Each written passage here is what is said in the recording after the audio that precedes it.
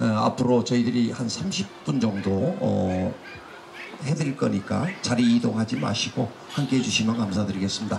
어, 올해가 1회니까 내년에는 뭐 2회 때는 정말 여러분들하고 같이 더 멋진 예, 무대를 또 선사해 드릴 것을 약속을 드리면서 이번에 나오는 가수는 우리 또 섬진강 어, 섬진강 하면 어딜까요? 하동 쪽이죠. 구례 예, 섬진강 남도 대교라는 노래를 부르는 가수입니다. 우리 지수 씨 무대 함께합니다. 박수로 맞이해 주세요.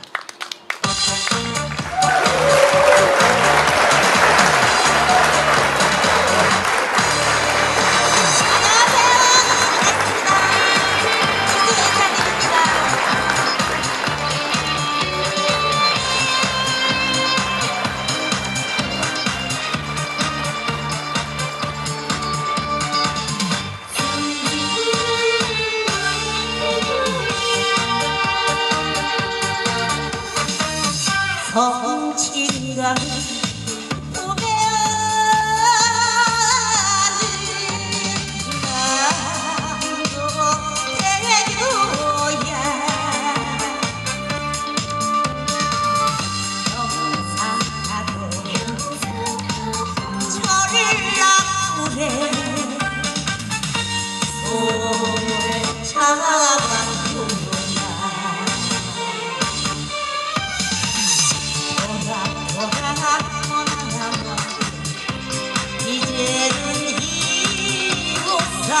love